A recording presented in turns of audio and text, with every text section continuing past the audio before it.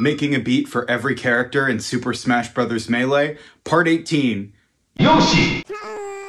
Yoshi has always been an uplifting character. There's a mature positivity to Yoshi that contrasts with the more childish optimism of Kirby or Pichu. He's like settled into himself. It's nice. Why is he so happy? But we're really here because of Amsa, who just became the first Yoshi player to ever win a major tournament in the history of Super Smash Bros. Melee. His dedication to Yoshi over the past decade is legitimately inspiring, so congratulations to Amsa. So the main thing I want to capture in the music is Yoshi's unstoppable optimism. And when I want to listen to life affirming hip hop music, I'm usually thinking back to more old school production from De La Soul or Nujabes. That means it's going to be heavy on the samples. The entire track revolves around this main sample from Masaki Yuasa's excellent anime Ping Pong the Animation, which appropriately is a story heavily about the nature of competition. The song exists perfectly between jazz fusion and